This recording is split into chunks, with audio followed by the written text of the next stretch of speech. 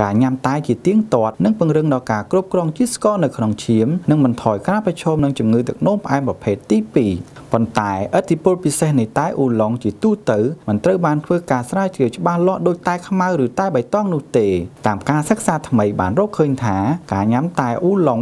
720មីលីលីត្រក្នុងមួយថ្ងៃអាចកាត់បន្ថយការប្រឈមនឹងជំងឺទឹកនោមផ្អែមប្រភេទទី2បានរហូតដល់16% ការសិក្សាថ្មីផ្សេងមួយទៀតបាននិយាយថាអ្នកជំងឺទឹកនោមផ្អែមដែលបានញ៉ាំតែមួយនេះចំនួន1លីត្រកន្លះក្នុងមួយថ្ងៃអាចកាត់បន្ថយជាតិស្ករនៅក្នុងឈាមបានរហូតដល់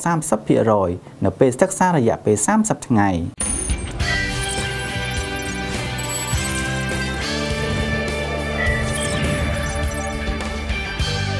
ទស្សនិកជនជាទីមេត្រី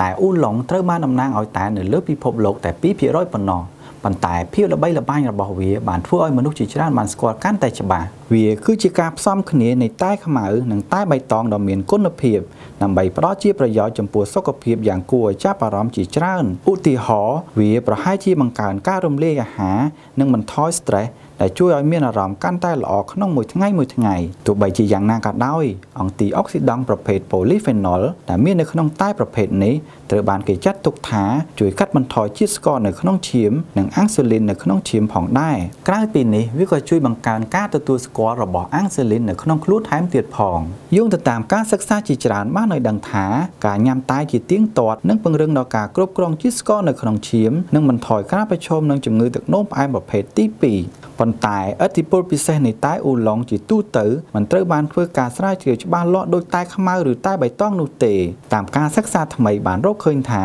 ការញ៉ាំតែអ៊ូឡុង720មីលីលីត្រក្នុងមួយថ្ងៃអាចកាត់បន្ថយការប្រឈមនឹងជំងឺទឹកនោមផ្អែមប្រភេទទី2បានរហូតដល់